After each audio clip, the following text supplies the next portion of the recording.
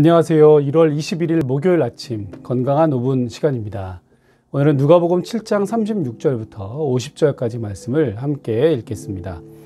어, 그 중에 어, 제가 48절부터 50절까지를 읽어드릴게요. 이에 여자에게 이르시되 내 죄 사함을 받았느니라 하시니 함께 앉아 있는 자들이 속으로 말하되 이가 누구이기에 죄도 사하는가 하더라.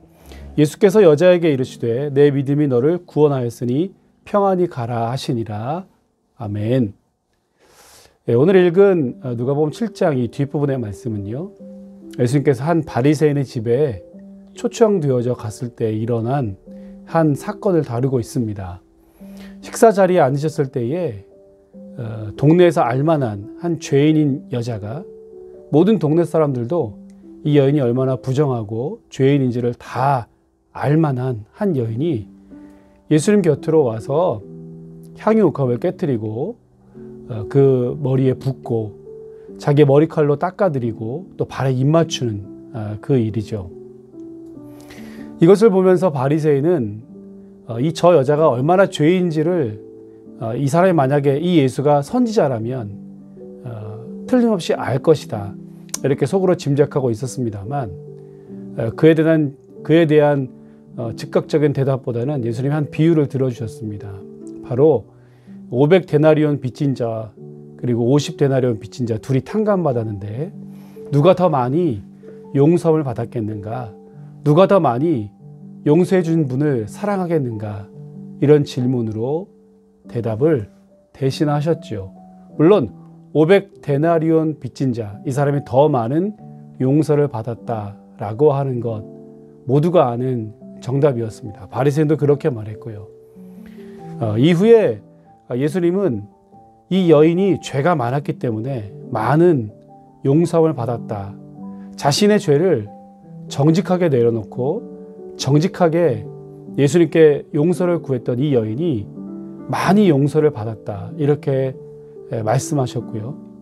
또 그리고 사람들 앞에서 이 여인이 죄 사함을 받았다라고 공개적으로 선포하셨습니다. 그리고 내 믿음이 너를 구원하셨으니 구원하였으니 평안히 가라.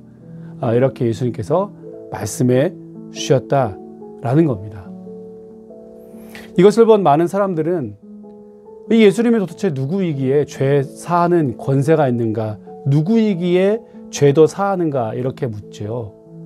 오늘 이 사건은 이들의 질문처럼 예수님께서 죄 사함의 능력, 죄 사함의 권세가 있으신 분이시다라고 하는 것을 보여주는 사건입니다.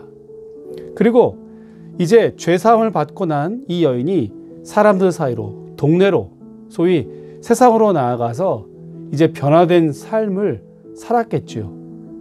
이 여인의 변화된 삶이 예수님께서 죄 사함을 선포하신 어, 죄를 용서해 주신 것에 대한 어쩌면 증거가 될 것입니다. 여러분 저와 여러분들도 마찬가지로 이 여인 못지않게 또 500데나리온 탕감받은 사람 못지않게 하나님의 은혜와 예수 그리스도의 십자가로 어, 모든 죄 사함을 얻은 하나님의 백성들 아니겠습니까? 그리고 이것이 어, 우리의 변화된 삶을 통해 세상 속에서 우리의 변화된 삶을 통해서 우리는 그대로 내가 구원받은 자라고 하는 증거를 드러내야 할 것입니다. 간혹 그렇게 질문하시는 분들이 있어요. 내가 구원받은 것을 어, 뭐 이것을 잘 모르겠다. 내가 어떻게 구원받았는지를 잘 모르겠다. 그런 의심하는 분들이 계시는데요. 아, 그것이 혹시 질문이 된다면, 그런 의심이 든다면, 내 구원받은 이후의 삶, 세상 속에서 내 삶을 한번 돌아보십시오. 내가 정말 하나님 말씀대로 살고 있는지, 하나님의 뜻대로 살아가는 나의 변화된 삶을 통하여서 내가 구원받은 사람이라고 하는 것을 내 스스로 그리고 많은 사람들 앞에서도 증거해 보일 수 있을 것입니다.